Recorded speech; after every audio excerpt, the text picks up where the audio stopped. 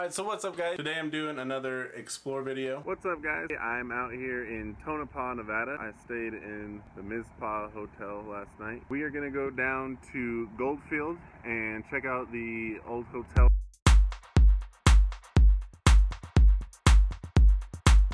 Alright, so for this first part of Goldfield, we went out and explored some of the mines. Uh, there was a lot of cool stuff out there. We probably could have spent all day out there uh, around to the different mines. I mean, there was literally tons from where you could see from where we were just flying the drone around. You've never heard of Goldfield, Nevada before, it used to be one of the biggest cities in Nevada, in the West Coast, and uh, it was a gold town. Okay, so Goldfield was founded in 1902, had a population of 30,000 during its boom year of 1906, and it produced 11 million in gold. The town has the longest bar in history. The bar Tex Rickard's Northern was so long it required 80 tenders to serve its customers. So the Earp brothers, Wyatt and Virgil, uh, who are famous lawmen back in the day, they made the movie Tombstone about them. After they left the OK Corral and Tombstone, they moved out to Goldfield in 1904. In 1905, Goldfield suffered its first major fire when a stove exploded in the millinery shop. Three months later, Virgil contracted pneumonia and died. Wyatt left Nevada shortly after Virgil's death and spent many years mining in the Whipple Mountains on the California side of the Colorado River. He died on January 13, 1929 at the age of 80.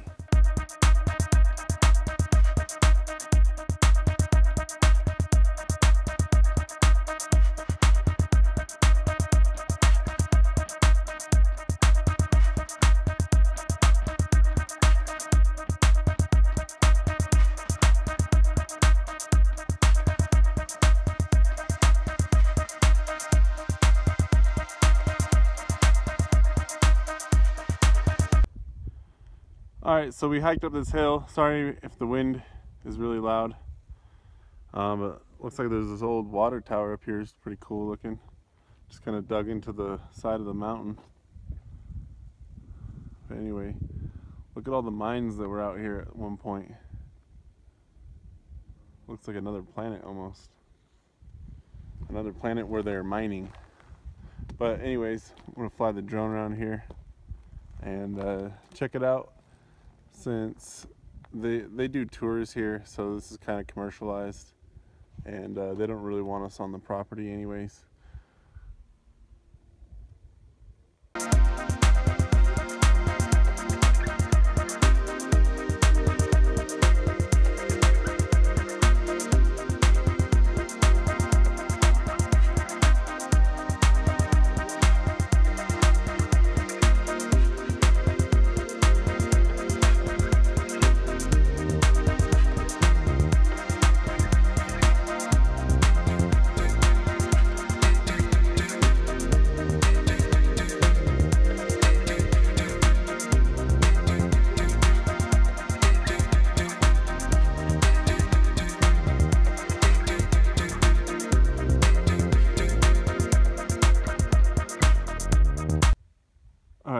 That building over there. And this is where the entrance to the mine was. That's about as close as I can get. Surprised they don't have this more uh, protected or uh, this smells really bad of sulfur.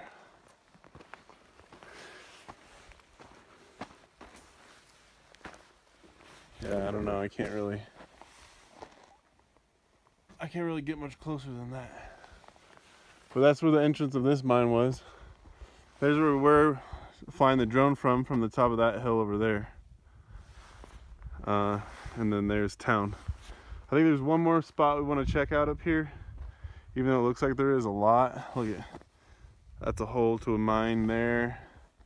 Looks like that's a hole to a mine there pretty cool place. Oh, another entrance to a mine shaft. We're now, that's where we were. There's my car right there. Uh, but yeah, we're still checking this out. It looks like there might be an entrance to a mine over here.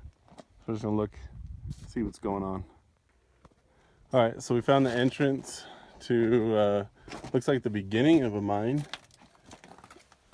Ah, someone was mining something down in here. Looks like it hasn't been used too much as an animal nest.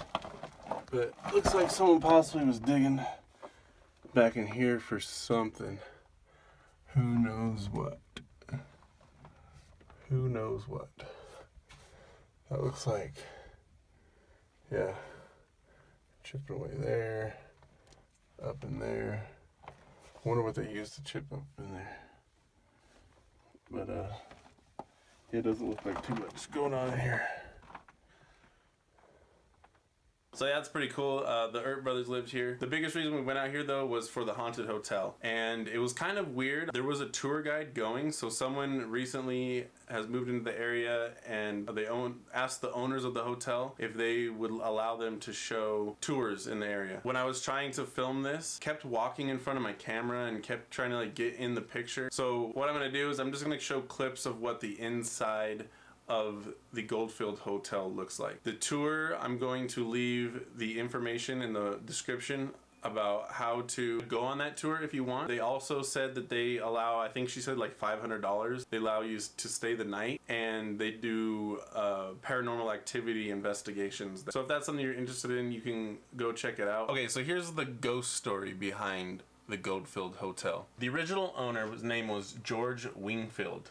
Um, and he had an office on the first floor that's reportedly haunted by the, his ghost. Supposedly, you can smell cigar smoke and piles of fresh ashes that have been found there. Um, his presence has been felt near the lobby staircase, along with that of a, of a midget and two small children. The children are said to be pranksters, sneaking up behind people and tapping on their backs before giggling and dancing away. Have claimed that room 109 is haunted by the presence of a pregnant woman chained to a, a radiator. Rumors say that George Wingfield had an affair with a prostitute named Elizabeth. When she became pregnant, she begged George to leave his wife and marry her.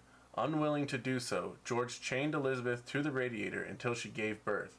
She was left in the room to die, and the baby was thrown down an old mine shaft at the northeast end of the basement. Alright, so what's up guys? We're here at the Goldfield Hotel. This is supposed to be a haunted hotel.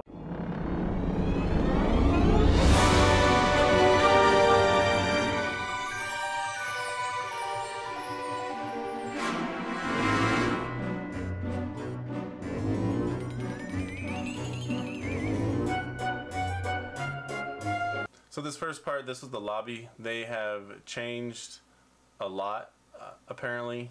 Um, so you wouldn't really be able to notice, but it's not originally what it looks like. But the floor there with the tiles, that is all original. And this safe up here is also one of the original safes that was kept there for uh, when people needed to keep their belongings.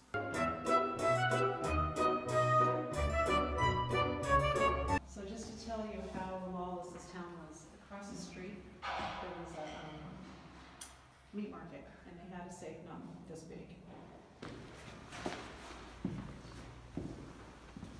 All right, this Over second room that's under construction, this is a woman's This was a lady- room. Um, basically a woman's So rest area, uh, large men were not allowed in bathroom here. type area. Men were not allowed in here, they just, it was just for the ladies. And they had all the privacy they wanted, but this is where Shirley, remember that name, Shirley, cause I'll be using it quite a bit on this tour, but, um, she and her family lived in here for a short time, because All right, so this first hallway area was where George Wingfield's office was. Uh, this is where the paranormal investigators said that they think that the girl was chained. I wanted to come back and get more footage, but unfortunately I couldn't. This is the only footage of that area on the first floor that I could get. I had no idea that such staircase existed in this hotel. So, yeah, just wait. Oh, just wait. And it just, this is the dining room, of the restaurant. So there were big tables, round tables shoved in here, I mean, it was busy all the time. And it's called the grill. Uh, and then coming up here, we're just kind of gonna go through a lot of con- different construction, and then uh, we're gonna get down to the basement where they say the, the baby was thrown down into one of these mine shafts. She did say that she doesn't know how true that is. because these mine shafts were also used to go back and forth between the red light district. So if there was anybody that was wealthy or anything like that, and they didn't want to be seen taking a horse there or whatnot, then they can go in these underground tunnels and come up in another building over there, and no one would ever know that they went that way. But this was done in the eighties.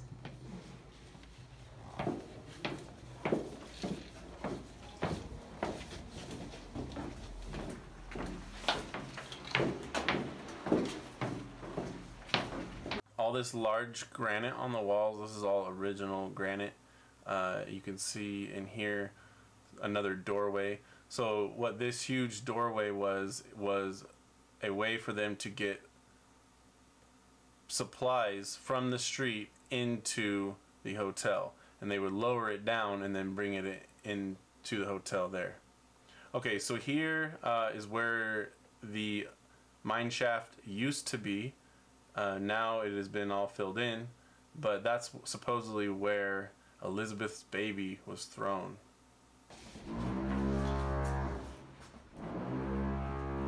Well, it's like private baths. Yeah, this is where the Richerman got to come and have their private little area.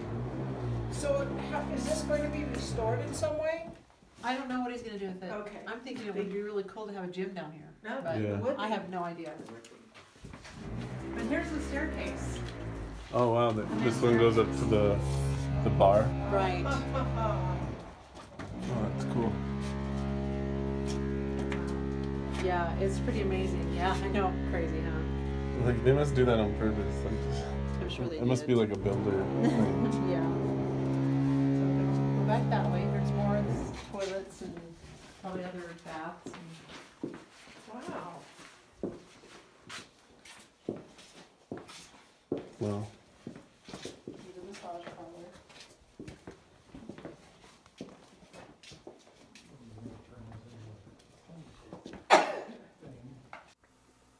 This was one of the original signs that was up there.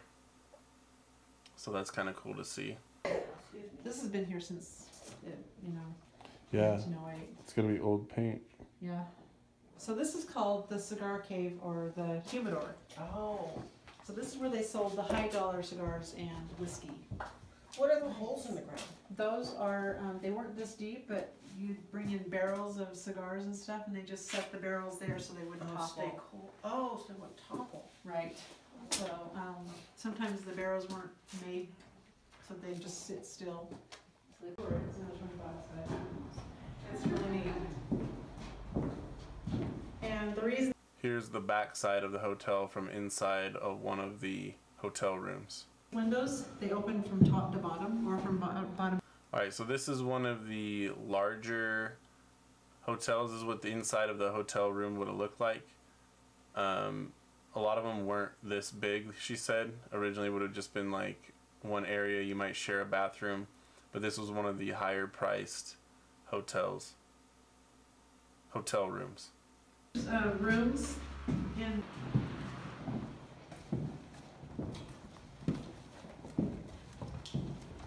I mean, even these were huge back then. Yeah. And they had bathrooms, that was amazing, because even, even the rich people who built their homes here, they had outhouses, they rarely had a bathroom. I haven't seen any of the houses that were built back then that had a bathroom. Okay, so t- I guess two other ghosts have been seen in the Goldfield Hotel by more than a dozen people, and that's in quotes. One is th- thought to be a woman who hanged herself in a room on the third floor, and the other of, is that of an unidentified man who reportedly committed suicide by jumping off the roof of the hotel. Some say the hotel is one of several portals to the other side that exists in the modern world.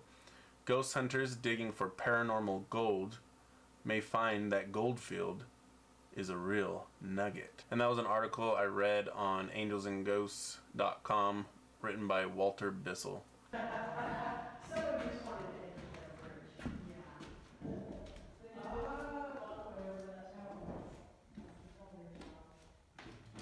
Okay, so this place was made famous by the Ghost Adventures crew who did a show in here in one of their first episodes, and they got footage of a brick flying across a, a room. Uh, and they were scared out of the hotel. Um, if you know anything about Ghost Adventures, you can watch that, or you might have already seen it. Um, kind of interesting. Alright guys, so I think that's where I'm going to end the video. Um, here's Goldfield. I was going to go in there and explore some more, but it looks like she's giving more tours. Um, you're not allowed to go to the third and fourth floor, uh, but I'll still put the footage that I got anyways. Um, I got some good footage of inside.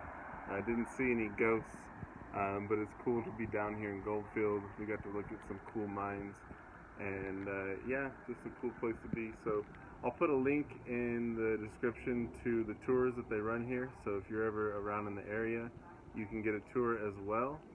And um, yeah, that'll be it. I think that's it. I'll see you guys in the next video.